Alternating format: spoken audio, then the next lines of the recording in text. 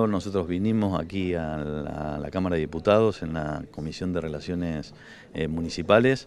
de asuntos municipales, en primer lugar para hablar por nuestros vecinos, por el vecino común que no puede pagar su tarifa a fin de mes, por ese jubilado que cobra 7 mil pesos y le vinieron 3 mil pesos de luz, por ese comercio que tuvo que cerrar porque la luz le sale más caro que el alquiler. Está claro que si hay impuestos provinciales no se puedan sacar enteramente, pero se puede hacer el esfuerzo. Y nosotros como municipio también tendremos que, puertas adentro, ver hasta dónde podemos hacer en lo particular el esfuerzo. En nuestro caso particular, como municipio, hemos sacado un decreto la semana pasada que todas aquellas familias que no superan los 20 mil pesos de ingreso,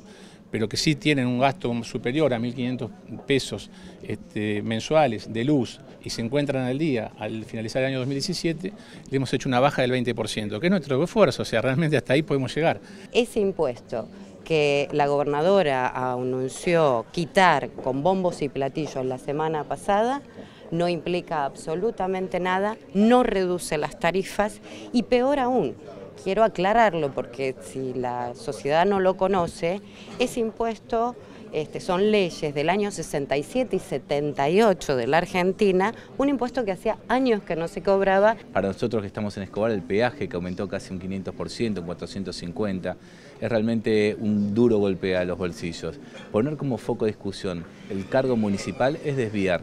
es tener como objetivo de eh, confundir a la gente, es tratar de decir que los intendentes no queremos una reducción.